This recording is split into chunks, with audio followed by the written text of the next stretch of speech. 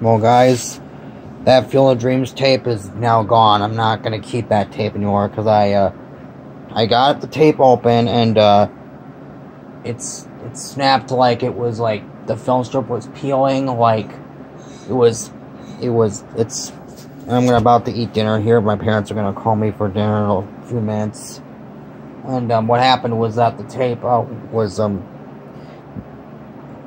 think one of the reels got stuck because it was so badly molded from someone's from the basement or wherever it was, whoever's house it was in by previous owner. And uh, Dad told me to just throw it out because that tape is dangerous and and I and it's unhealthy for me to have molded stuff like that. So.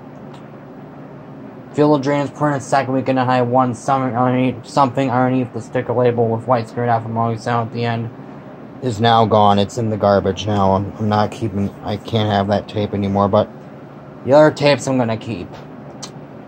I put them all. I put them all. I put them all right there. All the other tapes are okay, but Field of Dreams is just was probably one of the worst tapes out of the 14 I got. So that's that's it for this video, and see you guys in the next video. Take care.